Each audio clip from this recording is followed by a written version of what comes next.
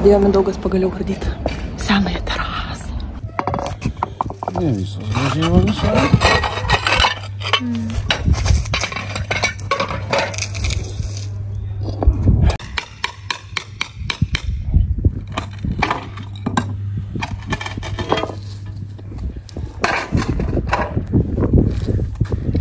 Čia esu žaliavo tiesiog čia. A. Reiks dabar da elektros čia vat, tuos laidus susijungti. Ai, kaip tyliai šalta. Sovietinis paveldas. Norit komentarų? Duosiu išminties jums per liuką, mėly žiūrovai. Tas, kad žiūrit, darykit viską patys. Bus hujovai, bet būsiu pats padaręs. Jėtų, jėtų. Senolių išmintis. Nu. Nieko nėra. Gėliau. Kad ir kaip blogai, kad ir kaip šulybė padaryta savo ranku.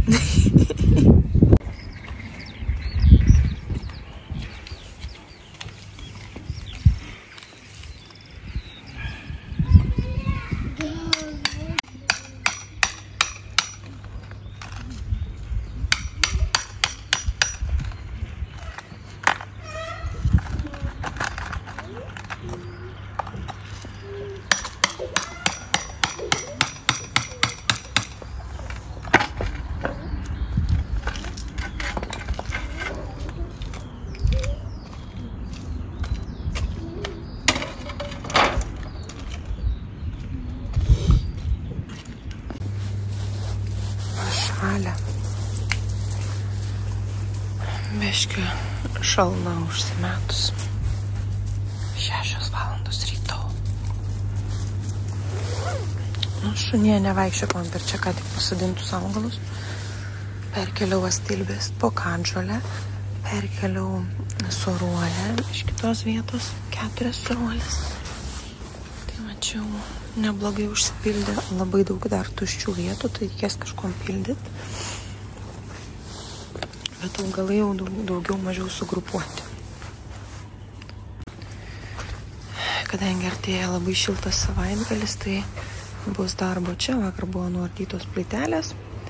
Čia nemažai augalų ištraukiau iš šitos nišos. Dar liko lendrūnas, bet lendrūnas keliaus čia, nes čia bus formuojama niša. Tai užsisakėm jau visko, ko reikia terasai. Ir ką, ir darbuosimės. Nu, daugiau Mindaugas darbuosis, aš palaikymo komandą. A ne šunė.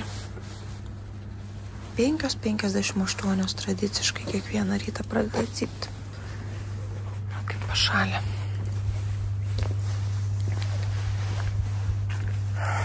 Deitas kiemo. Medžiai jau pabiškis sproksta.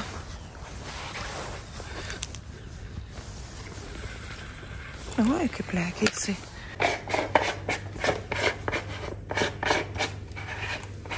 Pažiūrėjau, yra ribotuos, kaip su. Greičiausiai ne.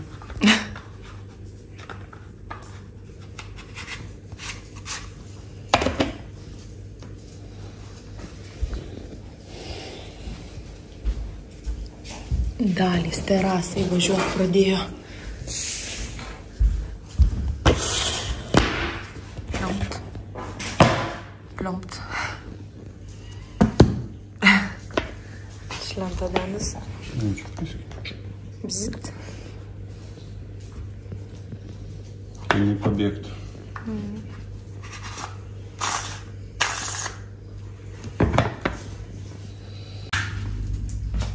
Tas, kur labiausiai įdomu viskas.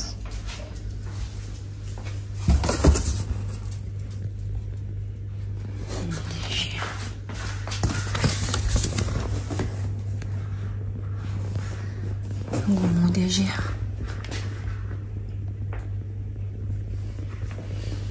Kitų. Kitų. O, koks gražuolis. Mhm. O šitą tai tu moki.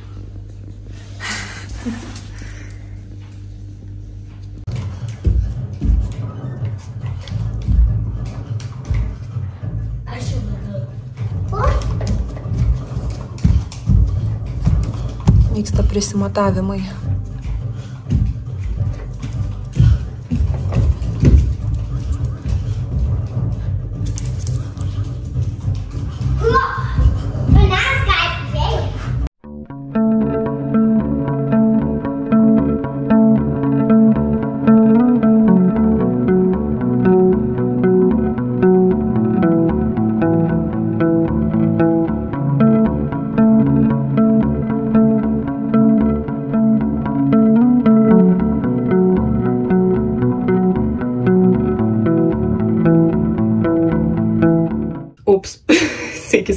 Mano kanalą.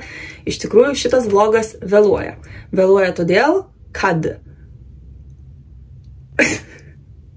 vėluoja iš tikrųjų todėl, kad noriu padaryti kokybišką ir sudėti jums nuo A iki Z, kaip mes įsivaizduojam terasą, kodėl mes priejom prie tokių sprendimų ir kaip viskas vyksta. Taigi šiandiena, kuomet atvažiuoja terasinės lentos, ir pagrindas terasai, tai reiškia mediena terasai.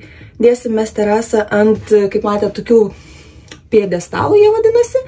Negrešime e, polių prie lango, todėl kad tenais yra jau susiliekta labai gerai žemė, pripilta betono, nes ten buvo plytelės. Taigi, toj vietoj, kur buvo anksčiau plytelės, ten yra viskas susiliekta. Šiaip norėjome gręžti polius, bet Mindaugas pakalbėjo su kaimynu ir sako, o ba, gera idėja iš tikrųjų dėti būtent ant tų piedestalų, viską pasižiūrėjom, viską pasižiūrėjo, kaip ką padaryti reikia ir nusprendė, kad darys visgi ant tų piedestalų, o ne gręž polių, nes reikėtų daužyti, reikėtų perforatorių nuomotis ir panašiai kad tuos polius išgręžtų. Taigi, toje vietoje, kur buvo plytelės, bus ant piedestalų, o toliau tarp pavesinės ir naujosios terasos takui bus grėžimi poliai.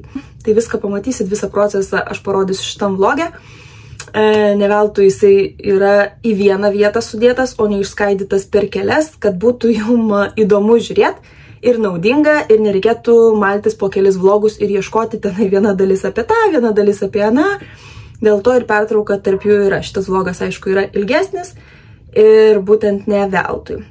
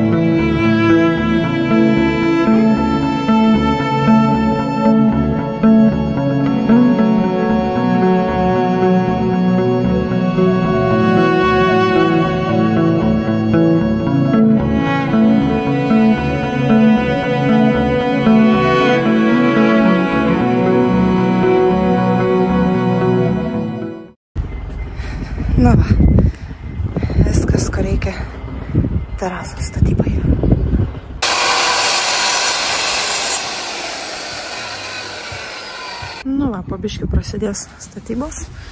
Dabar aprankiusiu tokius visokius nuo plytelių, kur liko,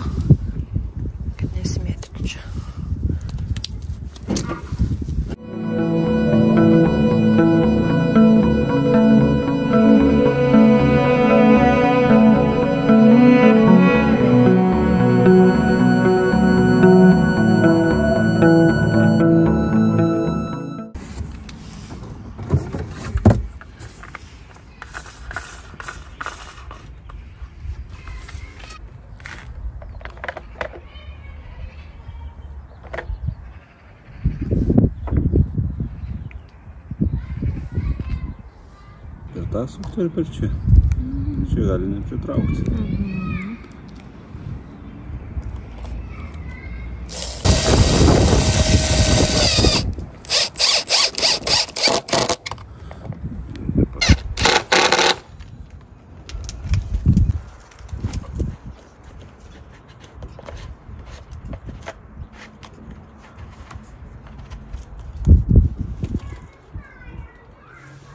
Здесь все, а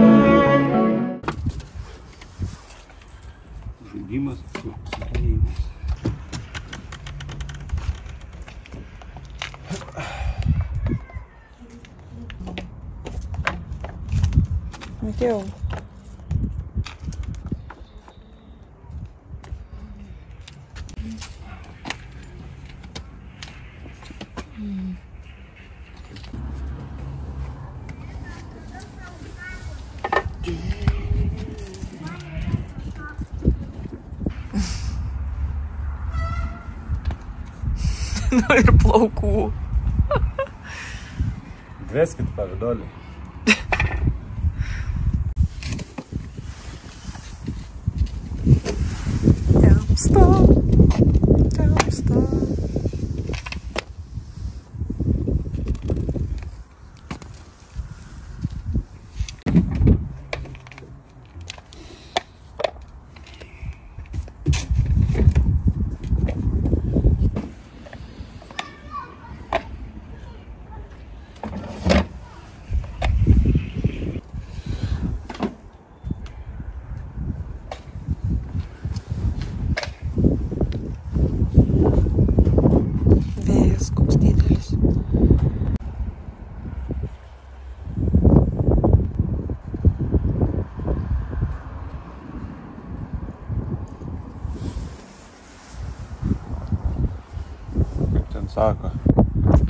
Pasidarysi pats, žinosi, ką padarai. Kiti darys vis tiek gausi pats perdaryti. Dar viena vėjuota diena. Einam į kiemą. Žiūrėsim, kaip tėčiai sekasi toliau. Vakar padarė patį pirmą, kaip čia pasakyti, pagrindo aukštą.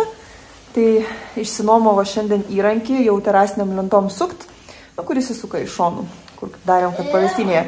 Ir tada jau šiandien vyksta rimtesni darbai, bet labai labai vėjuota, tai negalėsiu net šnekėti, nieko nesigirdės, kaip šnekam, taip kad, nu kaip nors.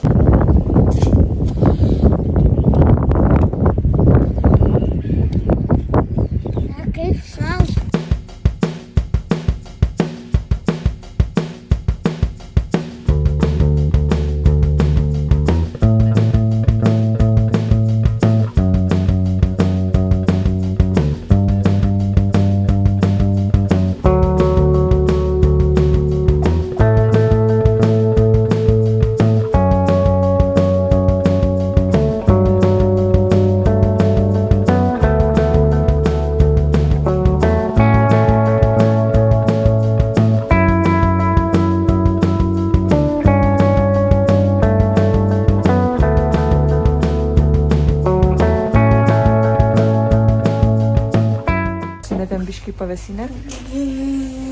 Belė kaip šalta iš tikrųjų. 8 laipsniai, bet vėjas tai, u, lele, koks vėjas. Paliko Mindaugą biškai dirbti. Kaip ir mes laukia, bet kaip ir ne. Tai kaip ir palaikymas, kaip ir ne. Labai šilta. Na, čia tai vėjo nėra. Reiks išvalyti iš po žiemos irgi tos tentus.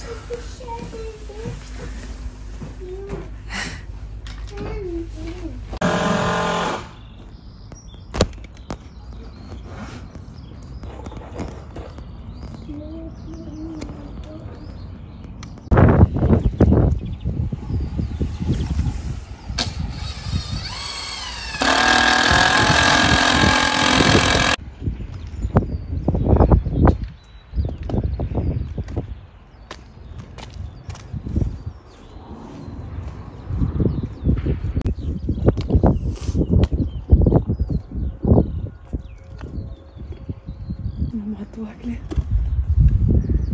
Jie vadinasi matuoklė. Niekas nežino matuoklės.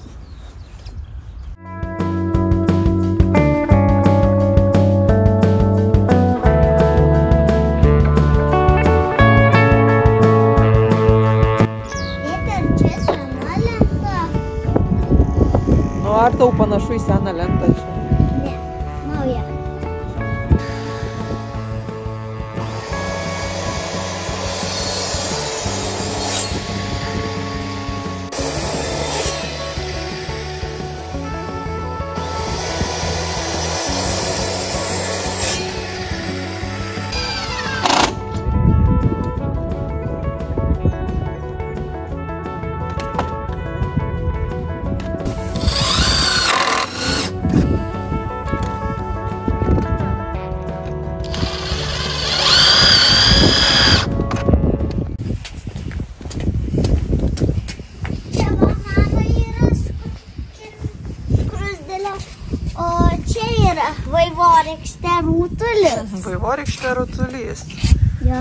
Pelytė panašu kompo. Ne.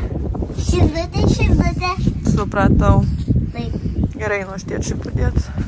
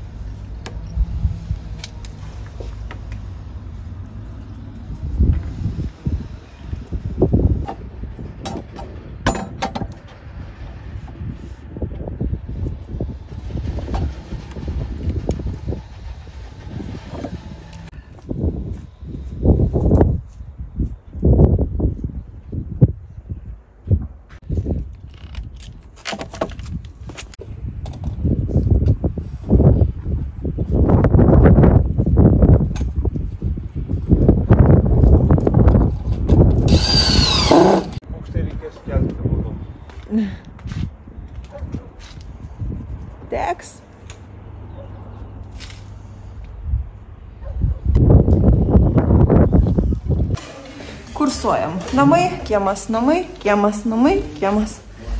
Tai pažiūrėsiu iš šitos pusės, parodysiu, kaip atrodo. Nu, beveik pusė. Beveik pusė padaryta.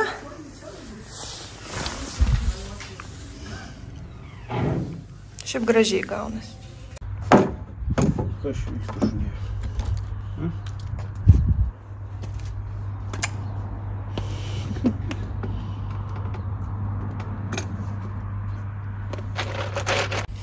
Prigulė. Nu, sako, nu, kad jau čia mane sudominai, tai pasižiūrėsiu.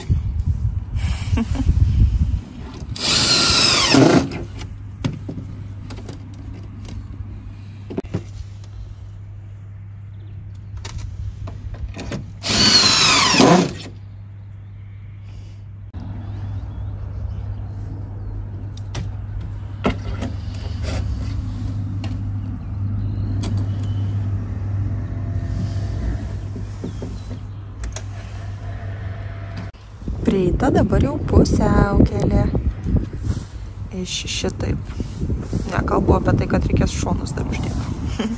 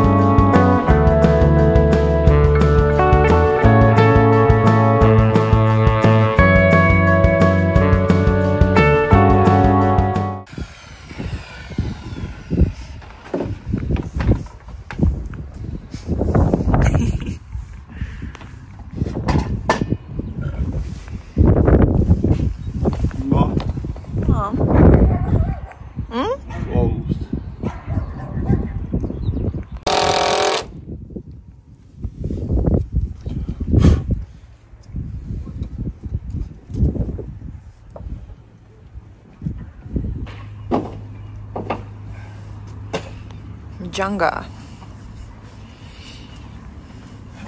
Junga. Verli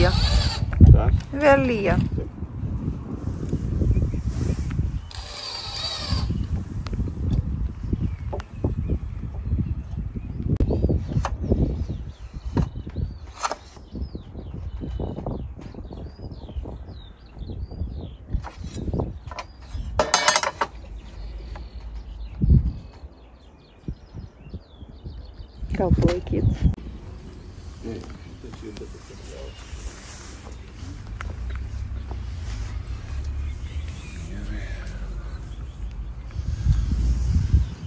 Trikampiolį. Trikampio. Ar bus arba gerai, arba ne. Du variantai, arba bus gerai, arba ne.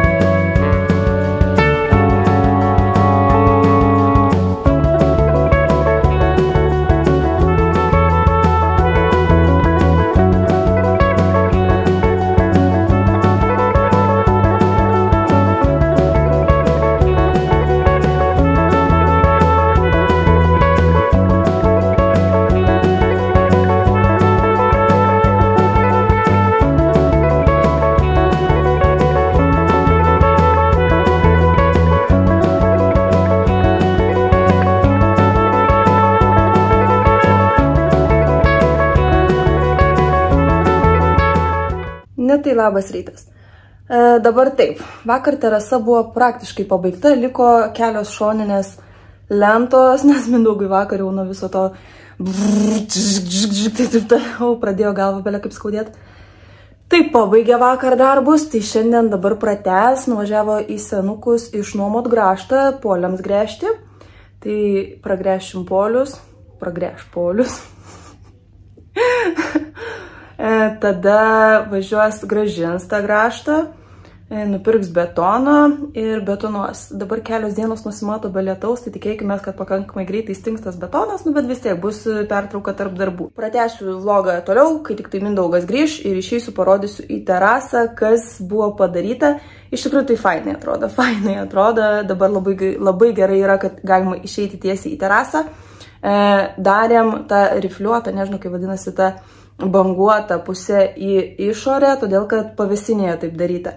Taip gavom tokių pastabų, patarimų iš kitų žmonių, kad geriau nedaryti tą banguotą pusę, nes žiemą, e, kai sninga, ledas būna tuose tarpeliuose, e, prisninga suledė ir tada būna slidu. Bet, nu, pasirinkom taip ir bus taip, kaip bus. E, Galit nesakyti, kad, oi, kiek turėsim rūpešių ir problemų ir panašiai. Pavyzdinėje irgi gavom tokių e, komentarų, kad bus labai daug priežiūros, bet sirpta ten buvo tik tai vieną kartą ir po to, kai buvo sudėtos lentos. Taip kad priežiūros pavyzdinėje yra nulis. E, tai va, priežiūros laukia tikrai bus daugiau, bet daryti dabar skirtingą tekstūrą toje pačioje realiai erdvėje, nes nu, erdvės susijungs. Nu, tikrai nelogiška ir negražu. E, tai pasiliksim visgi tą rifliuotą, ar kaip jinai vadinasi, pusę visur. Ir gyvensim tiesiog, kaip gyvensim. Ir pasižiūrėsim, kaip bus žiemą priežiūra. Ar taip pat taip tą terasą reikės valyti, šluoti, kad eiti į džekuzę žiemą. Tai va, tai tiesiog prisimam savo atsakomybę tos priežiūros ir tiek.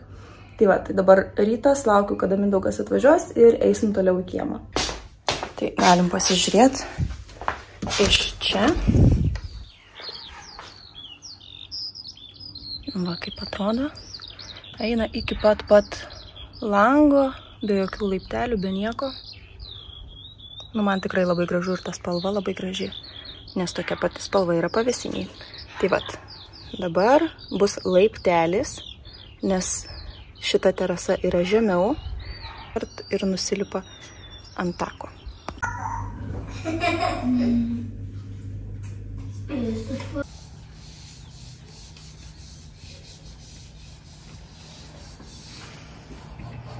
Nu va, tie kraštai dar. Uz grįžus porą šiandien visą.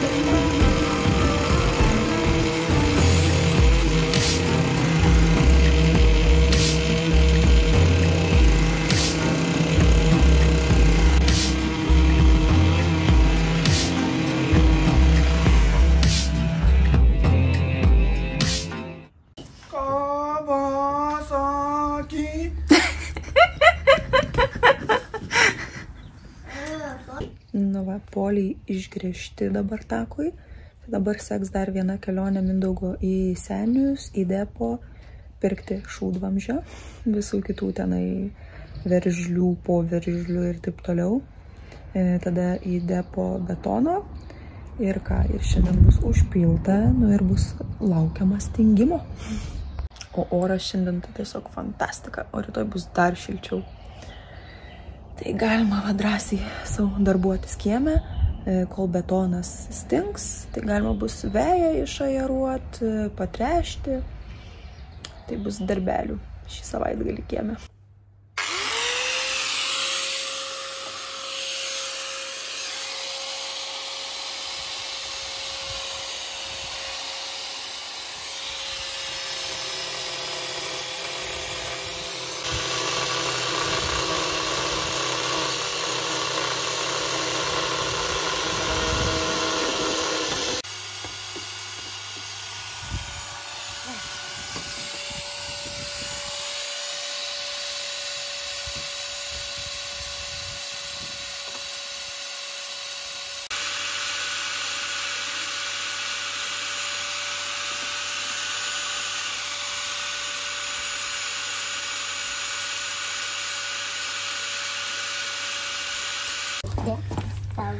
嗯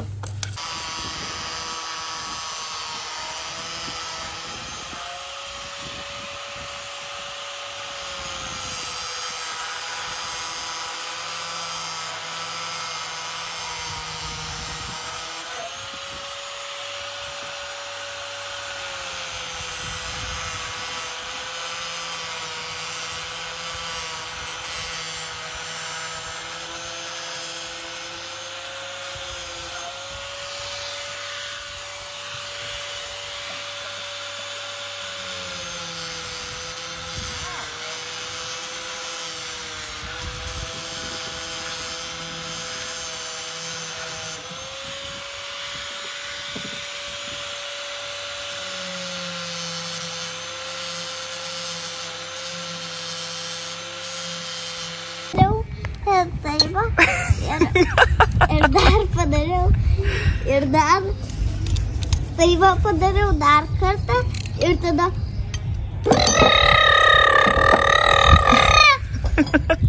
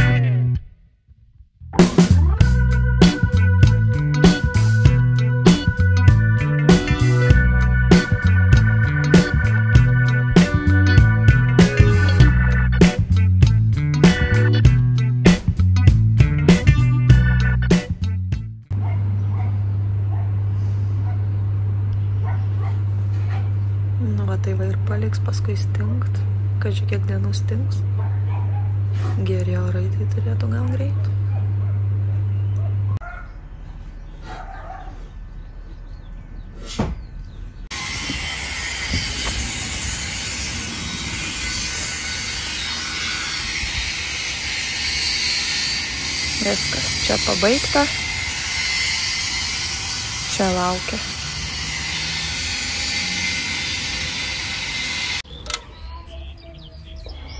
O, krustį koks įdomus. Krustį. Prakaituoja dabar truputį.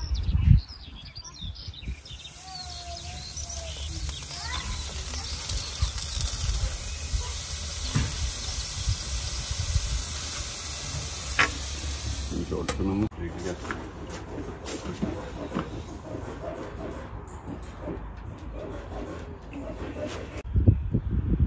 Nu ką, graužį.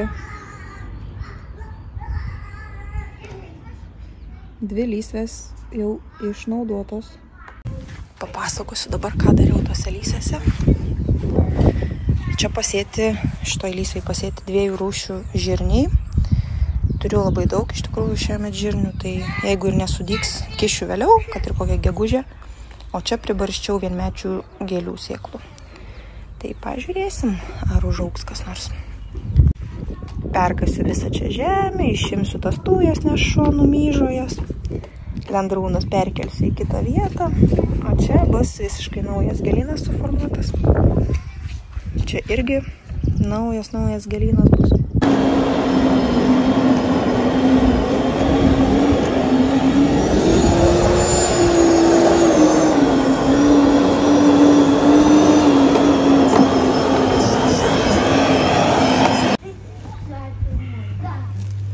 Aš tik dabar pradėjau bėgioti, o tu jau padėjai iš ten. Pasakykite, ką dabar darysite, labai mažai šnekate pastaruoju. Vinioju šlangą elektros, Nu, tada pjausiu lentą pagal ilgį atmiruotą. Tada dar vieną lentą, dar vieną lentą supjausiu ir tada gręšiu skylės. Tada, kai skylę sugręšiu, dar tada karūnėlės gręšiu. Ir tada sunersiu ant baslių, pagalių. baslių.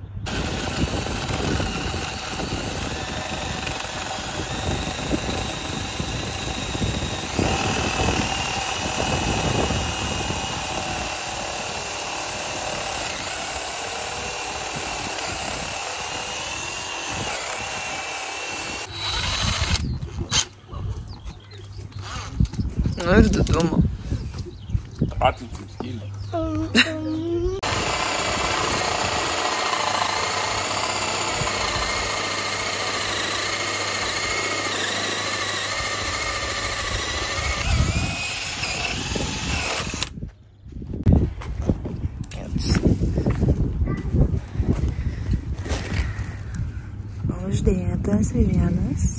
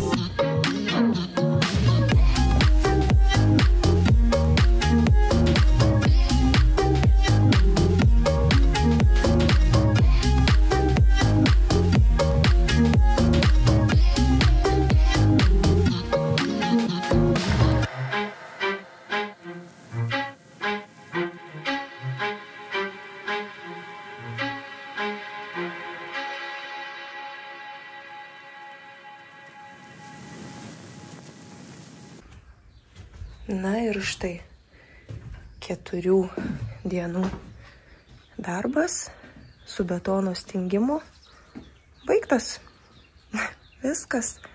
Čia yra jau atskaitos taškas pradėti gėlynus formuoti. Viskas gražiai čia vienam lygi sueina. Čia va mažas laiptelis.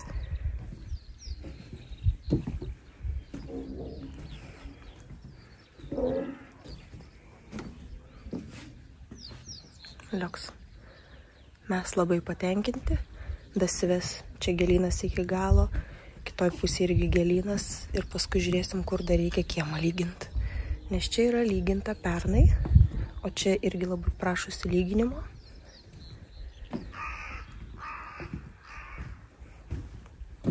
Tai va, viskas, projektas kol kas yra pabaigtas. E, terasos ir tako iki pavėsinės, visas, viskas susijungia, kaip ir sakiau, susijungs dvi erdvės. Pernai ir šiemet, kol dar buvo žiema, tikrai nekartą esu minėjusi, kad sujunginėsim pavėsinę ir terasą, tai vad viskas pagaliau sujungta. Ir viskas dabar ateina gėlynų eilė, dar laukia vienas projektas, tai yra lauko virtuvė. E, ji bus daroma ant pagrindinės terasos prie namo. Tai jeigu įdomu, tikrai žiūrėkit, tikrai laukit, mes labai laukiam, nes nu, šie metai aš labai tikiuosi, kad jau bus visiškai final, visiškai, visiškai pabaigsim su kiemu ir galima bus tiesiog savo maloniai leisti vasaras. O kol kas esam amžini nauja kuriai ir kuriam, kuriam, kuriam darom, kad tik tai mūsų kiemui mums patiems būtų faina, jauku, leisti čia laiką, būti, žodžiu, ir visa kita, kad nereikėtų niekur važiuoti, jokios sodybos ir taip toliau. Tai va, jeigu jums patiko šitas video, būtinai palikite laiką, jeigu dar nesubscribinat, pasubscribinkit ir susitiksim kituose projektuose. Kas laukia gėlynų, tai tikrai laukit, sekantis video bus apie juos, nes prasidės kelionė į Medelyną. Ate.